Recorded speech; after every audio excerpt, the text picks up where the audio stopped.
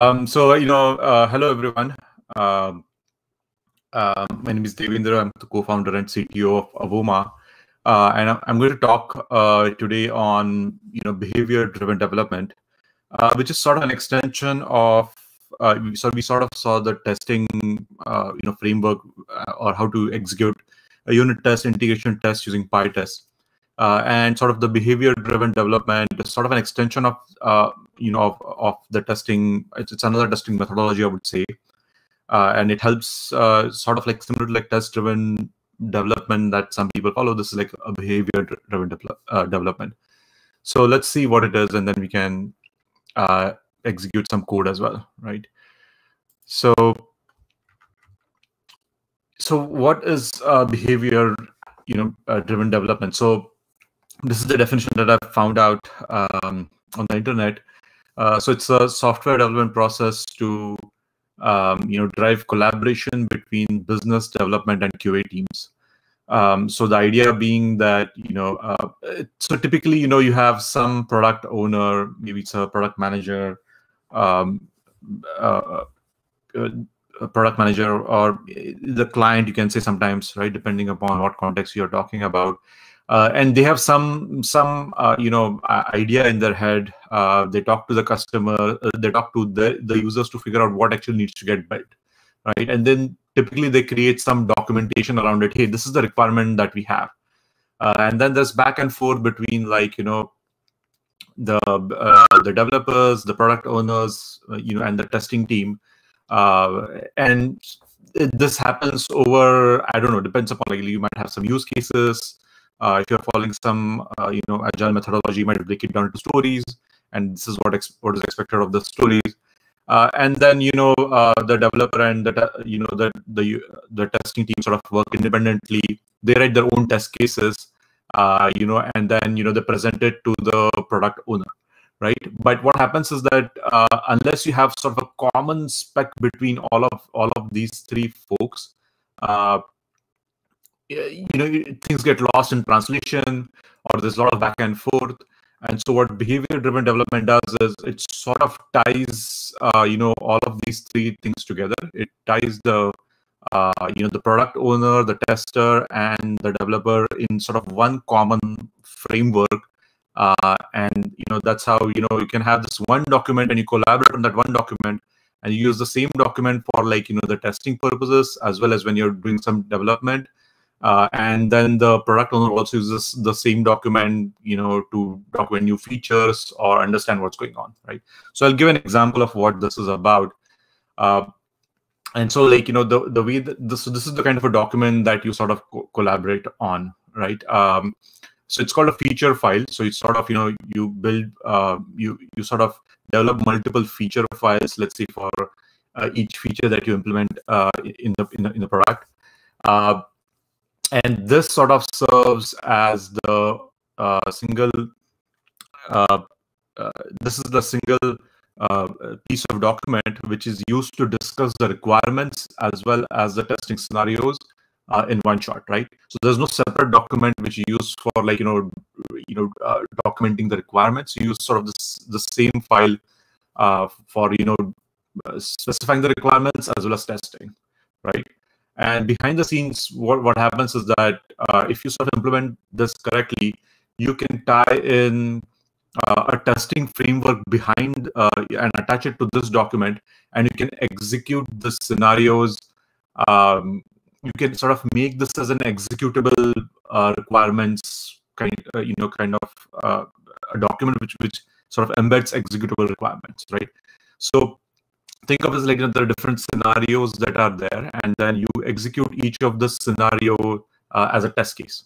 Right, so each scenario is a test case. Now, I've taken this example uh, from the Polls app, the which is there in the Django tutorials, um, and sort of you know I'll show you the code behind this as well. Uh, but the basic idea is that you just have one document that you use uh, while discussing the requirements, and then uh, the the the developers and the testing team actually write test cases to make uh, to execute this as like you know uh, as separate test cases right? So that's the idea behind uh, bdd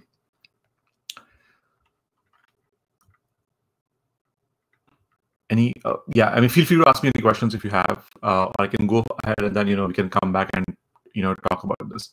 Um, so instead of writing you know your test cases as like the executable code that we see in pytest uh, in pytest uh, the idea behind a bdd is that you write your test cases using natural language uh, and then uh, you know you sort of uh, convert you add like sort of functionality to that natural language to make it more executable right?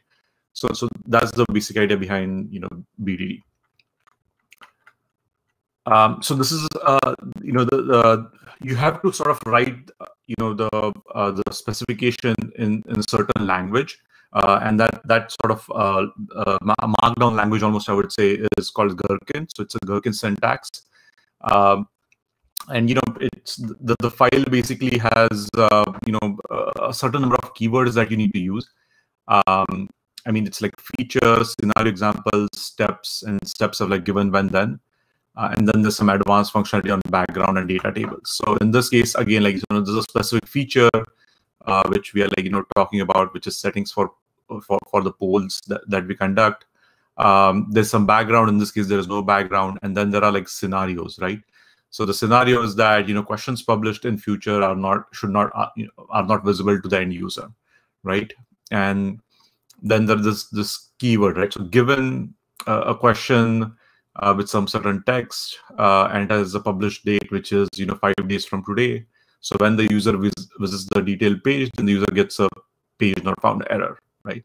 So this is sort of a, a English you know language description uh, which the product owner can sort of understand, right? So uh, product owners or product managers, while they do understand, you know, the nitty gritties of the code in many cases, but uh, not necessarily that they will understand, um, like they'll be able to parse essentially a PyTest, uh, you know, unit or test cases basically, right?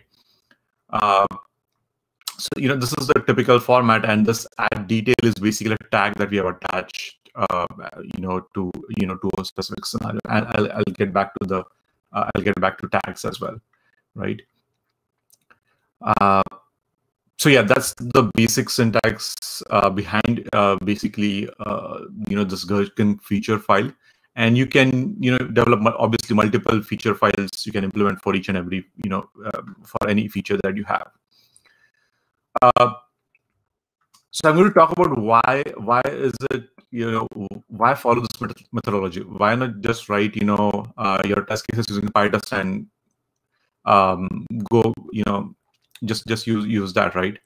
So the the main thing is that you know it's it's you know uh, explaining different use cases and scenarios is difficult right? So you need to have this common language between um, you know the the product owner and then the developer and the testing uh, the testing team right and unless you have this common language between these three groups, uh, typically you will miss out on certain details.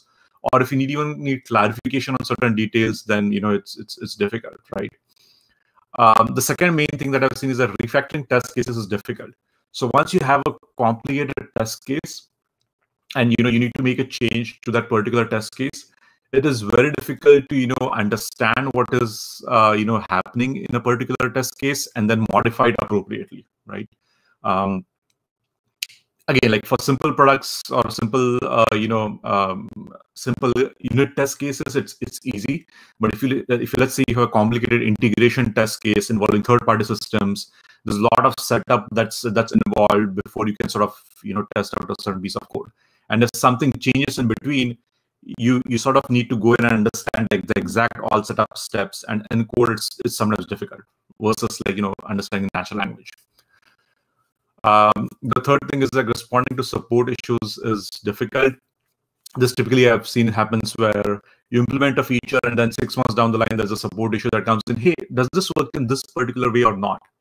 And you know uh, it's you while, while you have written some support articles you know and all of those details in there still sometimes you need to go back and refer to the actual code to understand what is happening in, in a particular case.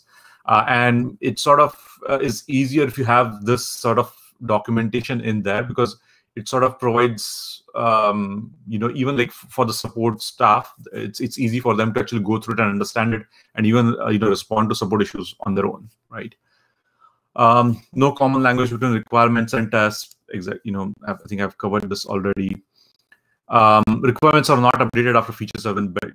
Uh, again, you know, uh, this is basically uh, again, you know, like uh, what I've seen is that you know you have the product owners has wants to implement a lot of features, uh, but then you know they come in and say, you know, the, the team comes in and scopes, okay, for V1 this is the only thing that we're going to deliver, right? And so then you know you unless you sort of cut that out and create a separate and maintain that, hey, this is the V1 feature that we have implemented, we're going to implement V1.1 later on. It, it's sort of you know difficult to know what what exactly has been built and what has not been built, right? And then you know uh, it also happens that when you're building the feature, you sort of change the requirements as well, right? And so then the document does not get updated. So the initial requirement document does not get updated, right? So if you have sort of executable requirements, uh, then it's always be correct and you know exactly what has been built. All right. Uh, lastly, I think uh, uh, you need to document features in order to write support articles. Again, if you have this sort of uh, you know the requirements document, then you know you can use it easily, pass it on to a technical writer, or even you can sort of write uh, test cases, uh, sorry, support articles based upon you know this feature file. Um, so I have a question. It says, uh, is scope of Gherkins totally different than PyTest? Um, I think um, it's good for acceptance testing. Uh, again, like, you know, it's not necessarily, I would say, um, the scope is different. Uh, you can actually write, um, you know, you, you, can sort of test anything in there uh, with uh, BDD as well. I think where it finds most useful is uh, any place where there is sort of a user-driven behavior or there's even a system-driven behavior uh, that you want to test out, where user does something and then something else happens, and then you want to test out something, some output to the user, for example. That's where I feel it's much more uh, useful. Uh, versus like let's say you want to test case a particular algorithm uh, then you know it, it, PyTest might be much more easier so and you know as i mentioned like you know like once you sort of start writing complicated test uh, you know test cases even like understanding what's going on becomes difficult. Um, so it is you know it's it's it's much more easier to sort of use the natural language um, to look at what's what's exactly happening. I'll give an example of this as well. Um,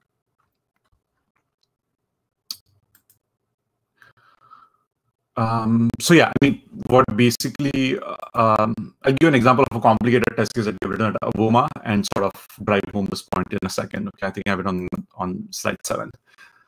Um, so basically, uh, Gherkin is what, what it ties together is automated testing, executable specifications, and living documentation, right? So the document is executable. Um, it's it's basically you know whatever write in there needs to tie to an executable line of code right? Uh, each of the steps that we mentioned. Uh, it's it's uh, it's actually documents how the system actually behaves. So if you write something in there and uh, you know if, if, if the system actually does not behave accordingly it will throw an error similar like when you write uh, execute a test case. And again it's executable specification. So it's like you know you're running that doc you're running that file as a test case, basically, right? Um, some resources, I'll share the slides uh, as well, so you can sort of uh, uh, look those up. So here is, uh, you know, a sample feature file that we have uh, at Avoma. So this is a real sort of file that we have. Um, and you can sort of think of it as like, you know, it's, it's for acceptance testing.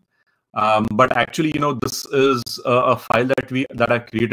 That I have already have an existing test case for this, but I sort of moved over it to, uh, you know, this uh, Gherkin uh, syntax just because it was very hard to understand uh, what exactly um, happens, uh, what what's exactly happening in the system, especially as you get more and more complicated scenarios, right? So in this case, for example, there is a specific setup, okay, right, where like certain users exist in the system they have different roles they have different um, you know different uh, permissions and all of those things.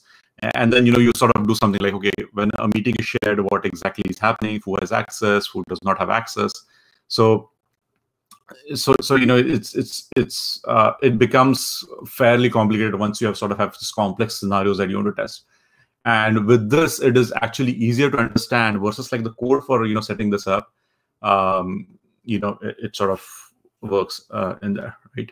Uh, it's easy. It's easier to parse for everyone when you're talking about requirements as well as when you're executing test cases, or if you want to update a specific test case or a specific scenario. It's much easier to uh, change this rather than like going in the code and understanding what's there, right?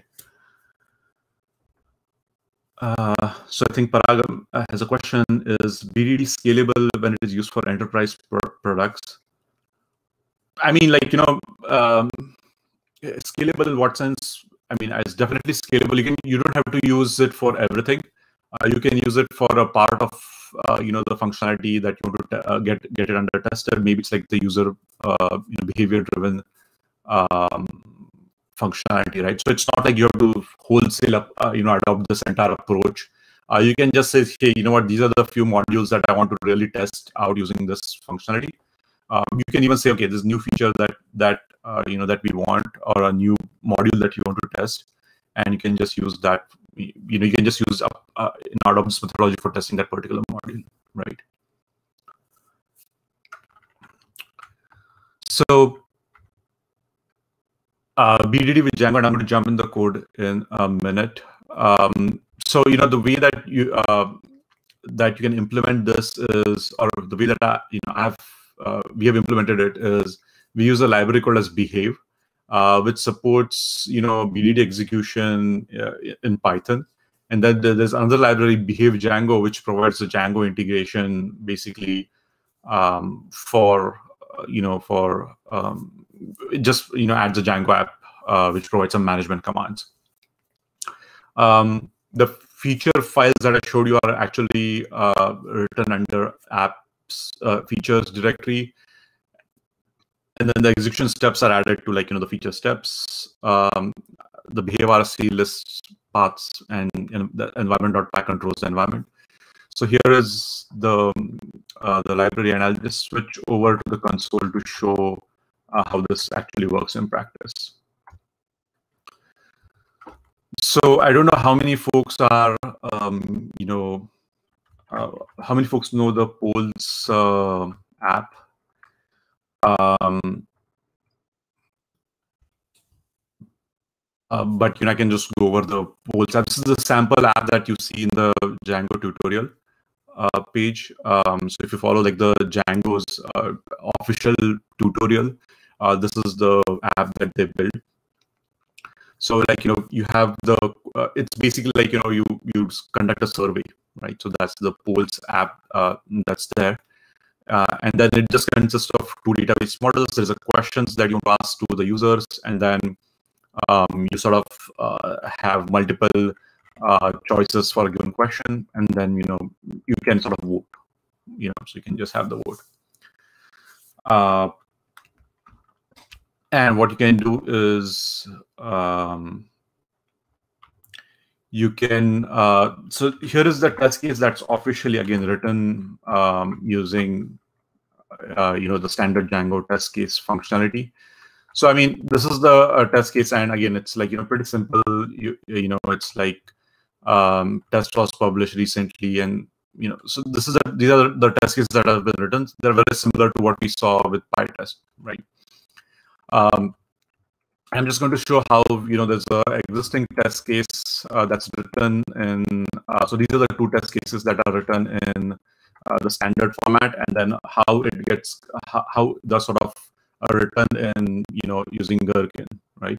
So so you can see like you know there's like this test future question, and then the idea being that uh, there's a published date uh, associated with each and every uh, question, pub date and then if it is in future then you know you cannot view essentially um, that uh, that question. But then once you know uh, once the server date rolls over to that particular date when it is to be published then it's available to everyone. So um, you know basically this is the uh, functionality that's there and uh, this is the test case that's that's done. It basically just sets it to like you know uh, uh, the question in future and then tries to get it, and then it results in a 404, and then a past question is available, right? And on the right hand side, you can see the, uh, you know, the, the the feature file that I've written for this, um, and you know, it says basically questions published in future not visible. and like you know given a question called as future question with a particular text and you know has a publish date set to five days from today when the user visits the detail page for a future question then the user gets a page not found error um, and similarly when you know you have uh, questions published in the path are visible to the user then the same thing right? And what you can see is like you know you can sort of use this um, the right hand side feature file as again like you know it's it's it's it's a natural language. So you can talk about it you can discuss about it whether it makes sense does not make sense you know all, all of those uh, things are possible right and how you execute it is um, yeah so so you know i've uh, you basically this is a management command which says manage.py behave and it goes in and and executes it and then it gives you like hey you know uh, this feature has passed. Uh, there, there, are two scenarios which have passed. None have been skipped. Um, and you know, yeah, how, how, much time? So it's like executing a test case that we saw uh, previously with PyTest. Similarly, it's just an execution of of this file, right? And how this all works together is that uh, you need to connect essentially for each of this give uh, you know lines of each of the statements, you need to connect a, a function behind it, uh, which goes and executes it, right? So um, if you go to steps and this poll steps, you can see uh, this is like, you know, a question create. So like, you know, this is like the converting the natural language to actual code. And there's no AI which does this right now. Maybe uh, with GPT-3 or someone like that, you can automatically in future create this. But uh, right now, what we are doing is uh, basically just templatizing this uh, this text, right? So question with this thing. So this is a given statement. It gets matched to this one, and then it creates a question, right? So, and I'm sort of, uh, can we achieve DRY and BDD? Yeah, this is exactly what what this is achieving, right? So you just have uh, you know one one function for this and you've parameterized it so it is sort of we don't repeat ourselves right so this is the same uh, same function which will get executed for you know this statement um, as well as the statement right so the same the same code will get executed um, again like I've, I've, sort of tried to make it a little bit this thing like has published date set to certain date from today uh, this is the same thing. It, it, just sets the published date, right? Uh, so this is what connects basically um, the you know the feature file to the testing sort of uh, functionality that's there, right? So instead of writing uh, test cases, you need to now, um, and this is additional work. I, I, nothing is free, right? I mean, uh, the, the, the cons of or you know the of BDD is that uh, you need to sort of understand all of this and build this feature file and then you need to sort of write all of these functions and you need to sort of uh, there is an additional overhead of like you know each independent line needs to get uh, you know needs to be implemented independently right so you need to sort of think in in, in those terms um, uh, i think for people who are from the testing background this uh, this is sort of similar thing i think that that gets executed in any case that that they work on but uh, as compared to writing just a plain test case. This this is more work for sure, um, but it, it comes with additional advantages that I just talked about, right? Uh, and yeah, so so basically these are the steps that you know that that that get executed when you know when the scenarios are run, and it sort of achieves do not you know uh, the dry prints you know. So we can definitely reuse all of the steps in different modules um, based upon like you know uh, you can sort of also you know use them across modules uh, if needed right? So that's the idea behind uh, bdd uh, okay so that's um, I'll just show a few more files that uh, you know to work with the integration. You can follow the official documentation, uh, but I can show uh, basically how um, uh, how uh, you know what the structure that we have. So we have a new uh, folder called as features, and inside this feature there is like this uh, poll detail dot feature, which is the feature file that's there. And inside the steps directory, we have like you know the steps, and these are the steps that you know which execute the uh, test cases. Environment.py basically you can sort of say before every scenario set some variables, and this is or before every um, test case you know, or after every test case, if there's some teardown code, we can sort of implement it uh, over here. And uh, the other file that that we have is um, .behaveRC, which just gives the paths uh, where the uh, feature files reside. You can keep them anywhere. Uh, I like to keep them in each and every app, the feature files for a specific app. Sometimes there are like cross-functional things. You can sort of keep a separate folder. Uh, there's also some auto discovery mechanism which is there, uh, but um, I sort of could not get it to work reliably, so I've sort of not I'm not using that auto discovery mechanism. So yeah, um, so this is how you know uh, we execute uh, test cases. Uh, you can also write you know you know add some tags, um, and this will sort of uh, you know execute only test cases with uh, a given tag. So I mean x equal to it will run the same same two, two things but uh, you can this is especially useful if you like say you're working on a particular feature and just want to like test you know quickly run some test cases against that particular feature and that feature is resides in multiple places, then you can sort of just use the tagging functionality. Uh, the second area where, where this is particularly useful is if you're working on a particular scenario just failing and you just want to work on that particular scenario, uh, then you can just add a WIP tag. And then you can just say, you know, at WIP, and it will only execute that particular, um, only that particular scenario, basically.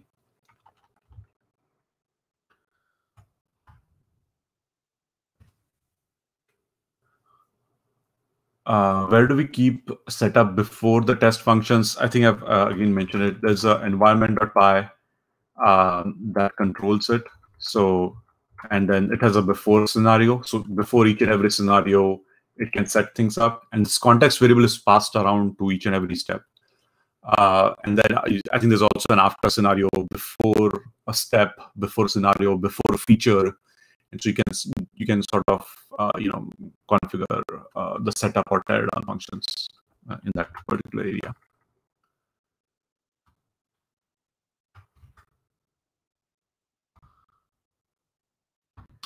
Yeah, and there's one more command which is the steps catalog. Uh, I can talk. Uh, it shows you all the steps that have been implemented.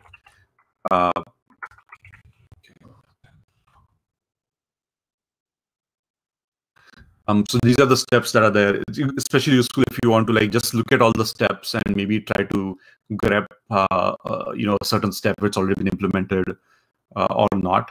So you know that's that's that's where it's more useful. Uh, it will also, if you you know uh, if you implement try to implement something you know which is not executed, then user gets abc let's say, and if you try to execute uh, this one, it will show an error, right? So you have not implemented this. Uh, you know, you need to add this function basically, right?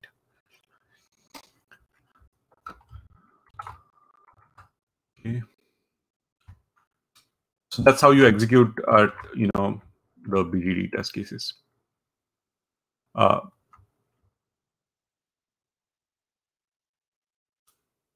some again like some additional pitfalls or FAQs. Um, uh, logs need to be disabled. Uh, automatically prints logs for failing test cases. This was the artifact of I think how you know we had configured our logging system. Uh, typically, I think if you follow the standard pattern, uh, I think this is uh, this is still okay. So you know if uh, uh, it, you know it automatically prints the logs for failing test cases, which is great while you know while um, you know while we are debugging. Uh, steps need to be properly imported. So again, this is uh, an artifact of uh, the, like you know the auto discovery not working. So the, what you have seen is that the first path, like the path polls features, this is where all the steps need to be uh, properly imported. So if you have multiple, for example, multiple feature directories, uh, you need to create something like you know uh, all steps.py and just import all of those steps in, in that particular file.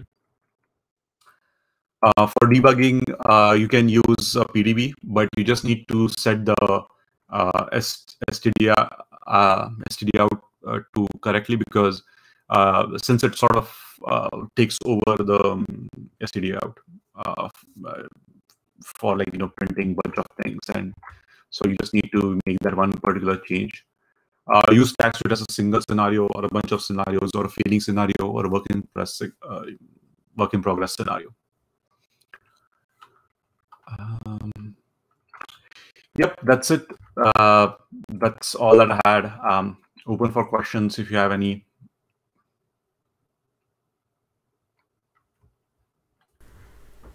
Thank you, Devendra. Uh, so, yeah, it was a great walkthrough over BDD framework. So, I had a few of questions. Um, so, first one would be the Cucumber framework. So, could you just share any insight about Cucumber framework? Have you used it or? I think you know Cucumber framework is very similar. I think if I'm not mistaken, um, it's, it's Gherkin is sort of I think very closely related yes. to Cucumber, or is it a rename of Cucumber? Uh, I think the main difference is that uh, they started with, with the Ruby uh, Ruby world, right? I think even this exactly. whole uh, behave framework is uh, behave framework is sort of a port from a Ruby uh, framework that's present, right? So uh, is the exact same uh, as far as i know it's the exact same thing. Gherkin is just sort of i think renamed uh, because gherkin is also kind of a cucumber actually right? Uh, or sort of a vegetable in that this thing. So i think it's they're very closely related that you know yeah. So if you actually google a lot of it is cucumber or gherkin sort of exactly. so if i google mm-hmm. about bdd the first thing it shows up is the cucumber framework. So th- that's what i happen to ask you this thing. So okay. Yeah. That was one thing. Um, the other thing was uh, why bdd like uh, as you mentioned a use case like uh, it's great for user acceptance testing. Uh, but uh, sorry for the noise. Uh, so um, no if you have to write two steps like you have to write uh, the feature file and the code. So how uh, is there any way to decrease this overhead? Or uh, why would a QE or um, organization would adopt this framework to be used in its production environment if there are two things to be maintained? Yeah, so you know, as I mentioned, right, you know, it's mainly about um, I can give you like again like an example, right? So when you're talking, you need to create the documentation, or people create the documentation uh, when you're creating requirements, mm-hmm. right? Okay. Um, and so, so there's a lot of back and forth that uh, goes between the product owner and the developers and the testing team, right? Hey, should it be this way? Oh, what about this particular use case? You know, and so on. So there's a lot of back and forth uh, that happens typically, right? Uh, and unless you have this common sort of uh, document that's that's there, you can sort of create a separate, I don't know, story file or some, you know, all of those things. But uh, you know, if you have this executable sort of, uh, you know, a feature file, then then then it it, it is it's definitely helps in clarifying things, right? Between the they, exactly know what what they're getting, right? So that's first the first thing. Um, and then the second thing is that you know as you write uh, you know as you write more and more complicated test case so this is not the most complicated test case that's there in this even in this particular case right? There are it's like i have like you know uh, you know test cases which span more than this right? And uh, it it's fine when you sort of develop them but once you sort of refact you need to refactor them after like six months and add something new to it uh, it becomes very difficult to recognize what exactly is happening in the code. Exactly. Right. Yeah. Uh, and then the third thing is that you know with code, even though you might have some standard patterns, different developers or different even uh, testing people will implement it differently, implement the the code, the test code differently, right? And so as developers, when you have to sort of work uh, with different you know ways in which things have been set up and you know all of those things, then it becomes harder to even understand what's happening in the test case. So with this, it sort of is bringing that sort of same personas same setup, same sort of terminology to a certain extent in in that uh, you know as like sort of the facade for the you know for the for the testing framework. Right? So that's the basic advantage that I see in this. It's a pretty good justification, by the way. Uh, yeah, so uh, to show this test results to a novice or for management people or for reporting stuff, it's a great tool or a framework to be used. So yeah, that's a great thing. By the way, I pitched this question because uh, I have created my own framework. So this is like a publicity of my own framework. So I have written a robot framework. Uh, WT robot uh, is the framework name. So in that you just have to write a YAML file, which would be somewhat same like your feature file, and that's it. Uh, you don't have to code the rest part. So maybe people can look into it later on. By the way, Parag has also mentioned about the robot framework for the BDD support yes. in the chat section. So yeah, that's also a great framework to be used. Okay. Uh, yes, I, I, you know def- definitely the, uh, the robot framework has support for this. Uh, you can do a lot of things in this. I've not sort of covered. Uh, you can uh, also connect it with Selenium and actually do like you know front end based you know testing as well with this. Uh, so yeah, even all of those things are possible actually with uh, with robot as well as I think with behave as well. Um, I think there's one more question. Can we pass more than one string inputs to the function? Uh, we connect to the scenarios like overloading. Uh, I'm I'm not so sure about this uh, thing. Um, I don't think you can do it do it the way that I think it happens in Python typically. Uh, but I'll have to check and see if, if we can overload it. Probably not, I, I would say. Um, but yeah, I'll have to test it test it out.